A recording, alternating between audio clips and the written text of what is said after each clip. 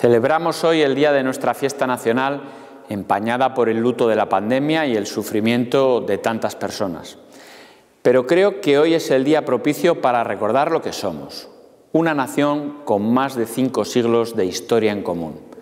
una nación en la que Castilla y León ha sido una parte esencial en la construcción histórica de España,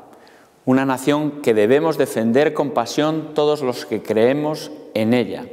especialmente a través de sus símbolos e instituciones, desde el más alto símbolo de unidad y permanencia de nuestra nación, como es la monarquía, a la expresión de su diversidad territorial,